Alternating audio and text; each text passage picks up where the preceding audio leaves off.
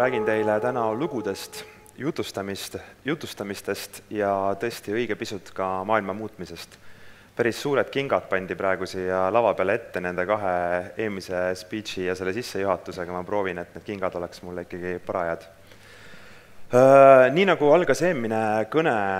sellest enesemääramisest või enese defineerimisest, siis tegelikult see on ka minu jaoks üks huvitav küsimus, sest et sõna fotograaf ütleb kõike ja ütleb absoluutselt mitte midagi.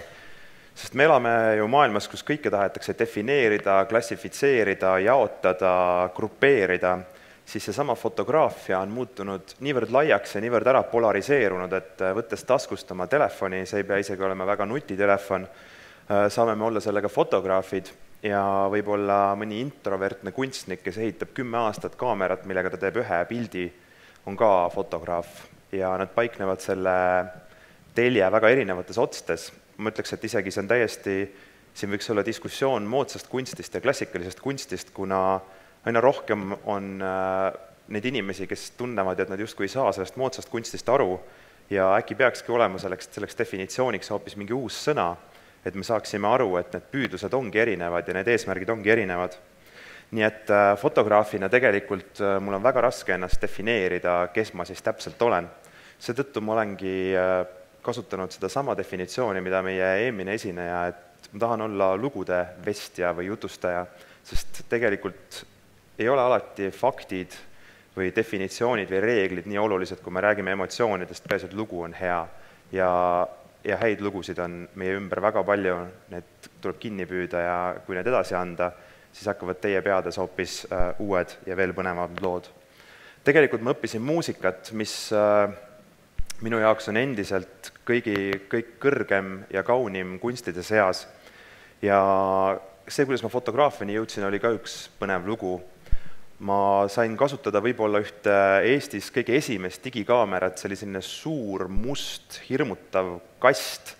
äh, mis tegi pilte, mille siis resolutsiooniks oli null koma kolm megapikslit see oli see aeg, kui tegelikult digikaamera sõna polnud veel eesti keeles olemas ja ma tundsin ennast justkui võlukunstnikuna, kellele on usaldatud mingisugune imekarp.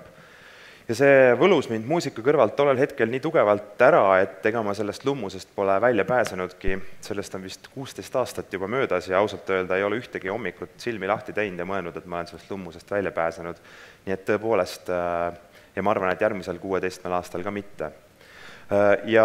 nii, nii see läks, õnneks ma, mul oli piisavalt palju oidu, et ma pöördusin tagasi juurte juurde ja hankisin nii-öelda selle päris fotoka, sain teada, kuidas teha väga halbu pilte väga suurtes kogustes, äh, osta filmi, ilmutada seda ja näha, et need pildid on ikkagi halvad, aga see oli väga hea kooliraha, mida, mida tänapäeval on digikaameratega hoopis, hoopis keerulisem maksta, sest et kohe näed oma vead ära ja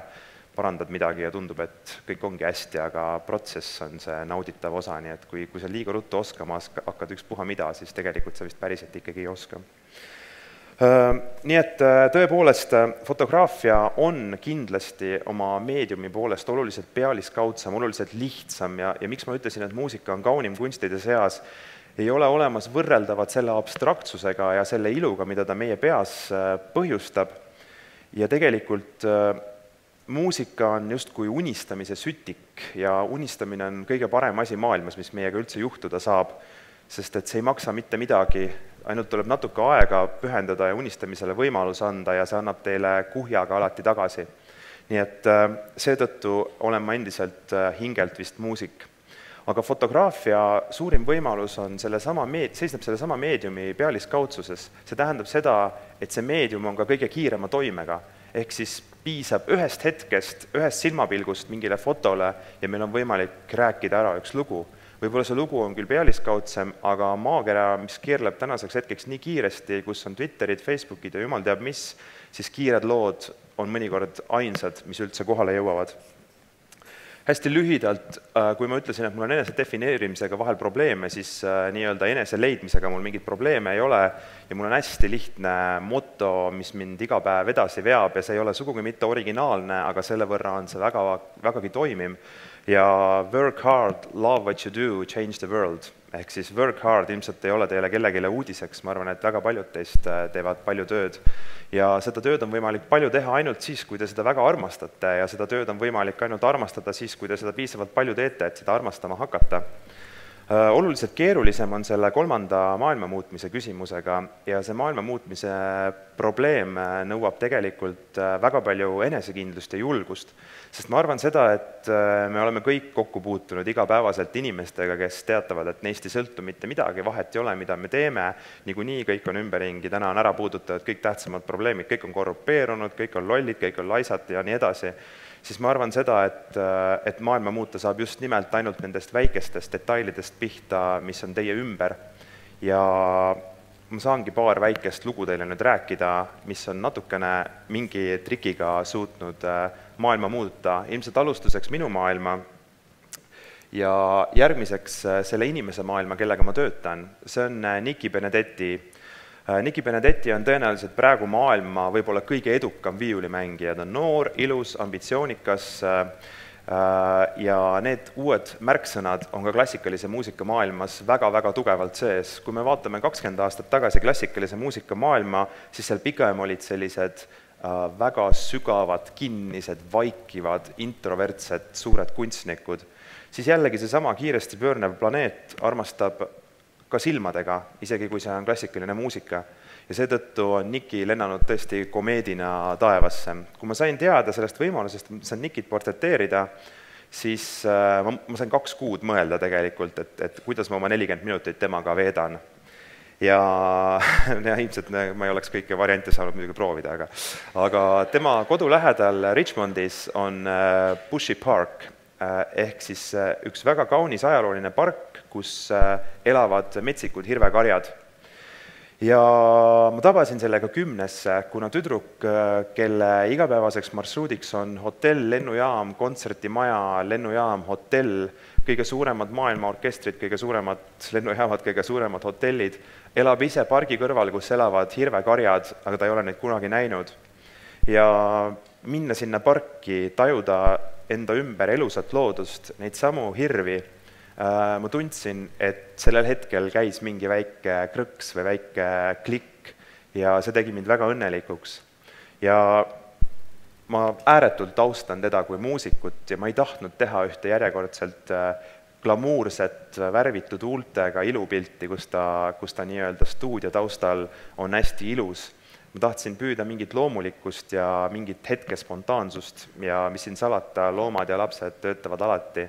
nii et äh, selline pilt ja selline lugu on Nikiga. ja kui ma ütlesin teile, et midagi sellel hetkel muutus, siis see ongi see maailma muutmise trikk, sest mõelge, kui te muudate natukene oma maailma ja suudate õige pisut muuta selle järgmise inimese maailma, siis temal on kasutada juba hoopis laiemad vahendid, hoopis uued tööriistad, hoopis uued ringkonnad, et seda maailma taaskord natukene muuta ja loodetavasti paremuse pööle, poole pöörata. Äh, see on äh, Wilson. Äh, Wilson on dirigent, Indoneesia päritolu dirigent, kes elab Šveitsis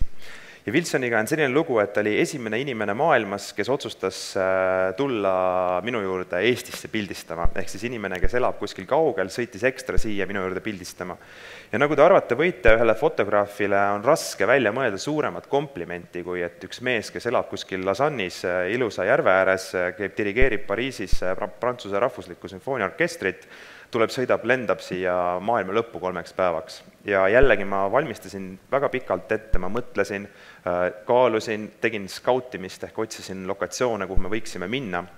ja kui ma sõitsin talle lennujaama vastu, siis ma vaatasin, et siit tuleb üks kuraadi ilus päikseloojang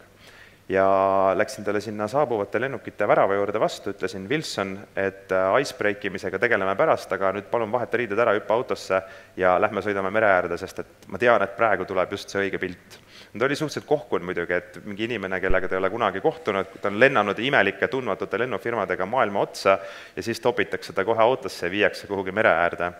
aga see osutus taas kord üheks väga-väga heaks äh, icebreakeriks ja et see asi oleks veel nii-öelda lõplikult siis ära vormistatud, siis, siis see pilt sündis juba peaaegu hämaruses, päike tegelikult oli loojunud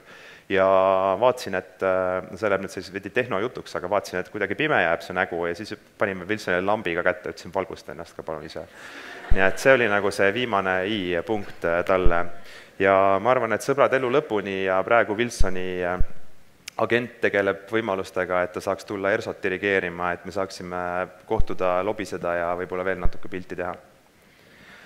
järgmised kaks lugu, mis ma teile räägin, on hoopis teisest valdkonnast ja iseloomustavad ka tegelikult seda, kuidas ma töötan ja tegutsen väga erinevatel väljadel minu suur armastus on Amazonase vihmamets ja ma olen seal käinud juba viiel või kuuel, kuuel korral ja nendest kaks korda on olnud ka sellised tõsisemad ekspeditsioonid. ja minu viimane ekspeditsioon viis meid Matseste juurde, kes on üks äh, iseseisev rahvakild, kes räägib täiesti autentset matseste keelt, neid on kuskil viie ja kümne tuhande inimese juures järgi, ja nende juurde minek oli väga suur ettevõtmine, väga suur ettevalmistamine. Ja selle jutu, kui ma üldiselt alati ei ole juttudel moraale, siis sellel jutul küll väike moraal on ja selle moraalil on see, et äh, lugude jutustamisega kaasneb ka alati vastutus. ja õnneks ma siin natuke saan näpuga näidata teiste lugude peale, kes oma lugude eest ei vastuta ja mitte praegu enda peale. Äh, Matseste juures käib aastas keskmiselt üks turist ja see turist on siis kas National Geographic, BBC või mõni äh, väga suure riigi väga suur telekanal. ja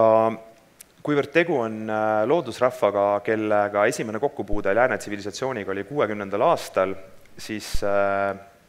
missionärid olid need, kes nendega kokku puutusid, siis see, mida tegid missionärid umbes kuuekümnendatel aastatel, ei olnud väga palju erinev sellest, mida tegi tegelikult tule, tule ja mõõgaga kunagi Pizarro. lihtsalt nad tegid seda nii-öelda vaimsete relvadega Te võite ette kujutada inimesi, kes on elanud metsas, teades küll, et kuskil on äh, veel äh, teistsugused inimesed äh, ja oma loodusrahva kombel isoleerituna omas kultuuri, keele ja sellises, kuidas öelda, mõtteruumis, ja ühel hetkel tulevad sinna missionärid, kes ütlevad, et oot-oot-oot, kõik on tegelikult hoopis teistmoodi. ja tulemuseks on see, et meil on ära tinistatud rahvus, kes ei saa päris hästi aru, kes nad on nad on ennast ära kaotanud ja sellele kõigele valab ainult tohutult õli tulle seesama Nat Geo või BBC, kes tuleb ja maandub helikopteriga sinna küla kõrvale maha, laadib äh, oma helikopterist äh, välja kolm tonni kaameravarustust, statiive ja kraanasid ja ütleb, et võtke nüüd need kulunud jalgpallisärgid seljast ära ja pange need palmisasist vööd ümber ja hakake tantsima. ja kõik sellepärast, et teha üks film, näidata meile elu hõimus metslasi, pööraseid äh, elajaid. see on umbes sama, nagu tuleks kuskilt Ameerikast keegi Eestisse, otsiks Vabaõhumuuseumist ühe suhteliselt autentsetes rahvariietes proua, määriks ta natuke mudaseks ja läheks selle filmiga pärast tagasi Ameerikasse, ütleks, et eestlased nii elavadki. ja tõepoolest, äh, nad maksavad ka raha nendele inimestele ja nende inimeste ettekujutus raha kulutamisest on väga kummaline, ehk siis näiteks äh, sealt külast lahkudes äh, kohtasin ma sellesama külavanemat, endist külavanemat, küla kõige väärikamat meest äh, sellesama jõe ääres kõige suuremas külas, kus on pood, ta oli seal nädal aega jutti prassinud ja parasjagu siis lakkus oma viimast pulgakommi, mis oli sellest rahast järgi jäänud, isegi teadmata, et seda pulgakommi tuleb liigutada ja keelt võib paigal hoida, tema eelistas hoida paigal pulgakommi ja liigutada pead. ehk siis ühest suurest uhkest indiaani äh, külavanemast oli saanud äh, pulgakommi lakkuv laps nii et äh, lugudega ja lugude jutustamisega kaasnevad äh, alati ka kaasnähud. ja teine ja ühtlasi ka viimane lugu, mida ma tahaksin teile rääkida, kannab endas ka veidi teistsuguseid moraale ja on ka äärmiselt põnev, sest nagu ma ütlesin, mõnikord olgu need faktid, mis nad on, aga peaasi, et lugu oleks hea. ja see lugu on maailma lõpu kinost kui ma käisin äh, mõned head aastad tagasi Siinai poolsaarel, kus paikneb turismikuurort Sharm el Sheikh, mis on üldiselt sellise gringo turisti sõimusõna etalon, siis äh, ma olen seal päris mitu korda käinud ja sealt on võimalik sõita väga-väga kaunisse Siinai kivikõrbe, mis ei ole üldse gringo ja mis ei ole üldse turist, turistikoht. ja ühel korral, kui ma sinna jälle ühe sõbraga läksin, pidime jääma kõrbesse ööbima, ütles talle, ma näitan sulle midagi väga kummalist ta sõitis mööda ühte vadit, ehk siis nii-öelda veemägede vahelist sellist orgu, mille vesi on uuristanud äh, oma džiibiga mõned kilomeetrid üldkäidud radadest kõrvale ja seal ootas meid maailma lõpu kino. lihtsalt keset kõrbe, ilma ühegi inimeseta paikneb üks kino. ja see oli nii sürrealistlik, sest et kino, nagu me kõik teame, on üks väga sotsiaalne asutus, sinna minnakse üsna kindlal eesmärgil, seal on palju inimesi koos ja nüüd seista seal tühjuses vaadata seda kohta, tekkis väga apokalüptiline tunne, et inimkond on maakeralt kas lahkunud või, või, või hävitatud või mis iganes. ja nii ta seal paiknes. ma tegin seal mõned pildid ja läks mööda mitu aastat, kuni juhuslikult üks suur blogi selle üles korjas ja uuesti postitas. ja selle tulemuseks oli absoluutne, ma ütleks siis, torm teeklaasis, mu meiliboksi potsatasid sajad kirjad maailma suurimatelt ajalehtedelt, ajakirjadelt, seda postitasid sajad blogid uuesti ja uuesti, ilmselt inimestele läks korda seesama apokalüptiline kummaline tunne ühest kummalisest kinost, mis paikneb mitte kuskil. Ja see lugu läks minu juurde, minu jaoks palju huvitavamaks veel seetõttu, et selle loo avalikuks tulek avas minu jaoks uued lood, avas lõpuks loo sellest mehest nimega Din, kes selle kino kaks tuhat aastal ehitas, kahe tuhandendal aastal ehitas. miks ta seda tegi, kuidas ta seda tegi ja see oli lugu lõputust korruptsioonist, pettusest, äh, halbadest kurjadest inimestest, seal filmis, seal kinos ei näidatud kunagi mitte ühtegi filmi, sest kohalik nii-öelda munitsipaalvalitsus otsustas, et kui ei hakka seaduse hammas peale, siis lihtsalt kiusame selle kino surnuks. Nad saboteerisid suurel premeeri õhtul selle generaatori, et ei oleks võimalik seal kino näidata.